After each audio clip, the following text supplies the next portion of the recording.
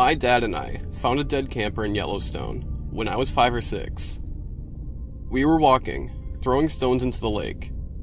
It was like every feel good vacation movie you've ever seen. Then we saw this guy, slumped against a tree. At first, we didn't think much of it, but it was getting cold and dark, and my dad didn't want the guy to fall asleep and wake up, unable to find his way back to camp. So my dad and I started walking towards him. But the closer we got, the worse it smelt. Not like rotting flesh, but like shit. Literally like shit. My dad told me to stay back, and walked over to the guy and asked him if he was okay. No response. He asked again. Still no response. My dad then tapped the guy's shoulder, and the body made a sort of crunching noise, and it fell slightly to the side. When this happened, the guy's hat fell off. Because of the way the guy had been slanted, it was like the blood had gone out of half the guy's face and pulled in on the other side. One eye was completely red, possibly from a burst blood vessel. My dad rushed over to me and took me back to the camp ranger's fort place. He had me stay with some nice lady, whom I remember looked distinctly like Big Bird. Well, he led a ranger and a paramedic who was on site to the body. It wasn't a horrifying, oh my god, I got attacked by a bear type scenario. But it was scary, being in a pretty secluded area, far away from home, and finding a dead body.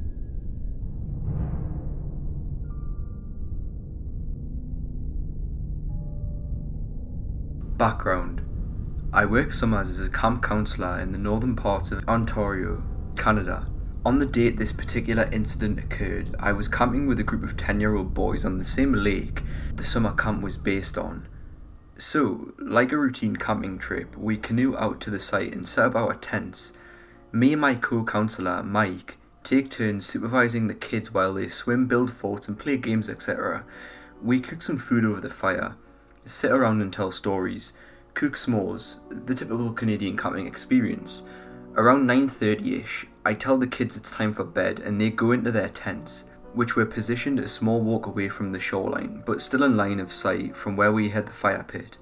So the kids have gone to bed and me and Mike are shooting the shit by the water smoking a cigarette, just basically hanging out before we decide to head into our tent and call it a night. What happened next still troubles me to this day, and remains my go-to scary campfire story. We were both gazing into the pitch black night water when we saw a small light approaching us slowly and slightly above the water level.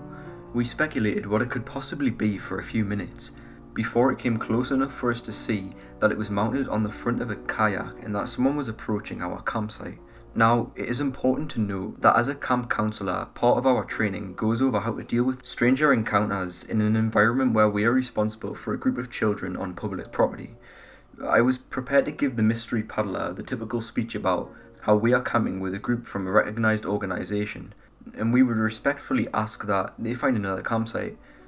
However, this person's appearance shook me to the bone as the light drew nearer. Paddling this kayak was a woman who looked to be in her 60s.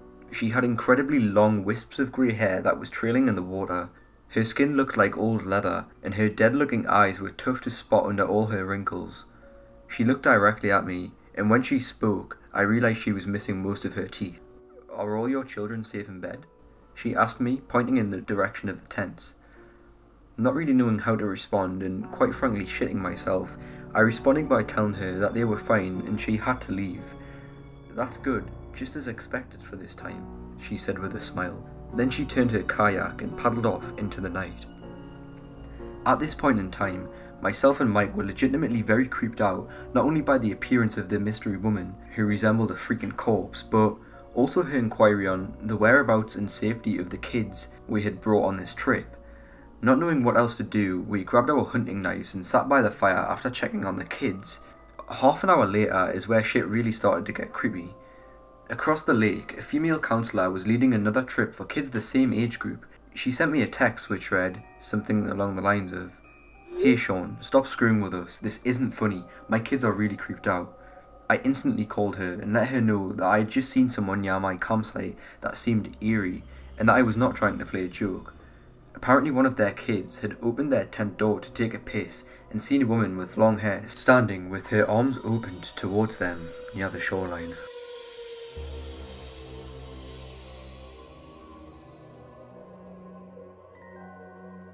I worked at a camp in North Georgia, and we took kids to the Appalachian Trail around the city of Dahlonega.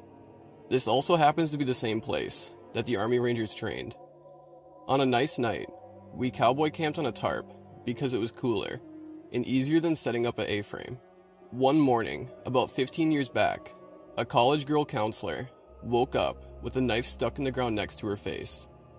Attached was a note that said, We could have killed you last night.